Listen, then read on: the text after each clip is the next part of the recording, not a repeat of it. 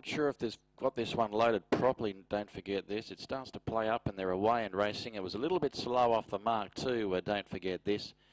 And it looks as though Fire General will be eased back to join the other one. Don't forget this, which tries to make up ground, and he does so. So it's on the inside, Fire General, ridden by KT Cheng. He'll be going around in a Class 5 1600 metres this weekend. Fire General, the old timer, at uh, 12 years of age, and he leads the way. And about a length away is Don't Forget This.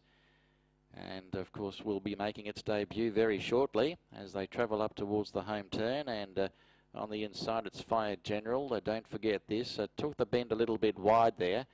Starts to close in nicely there on Fire General, which has been eased down there with about 200 metres left to go. And is joined again by Don't Forget This with TM Wan in the saddle. They'll hit the line together, these two.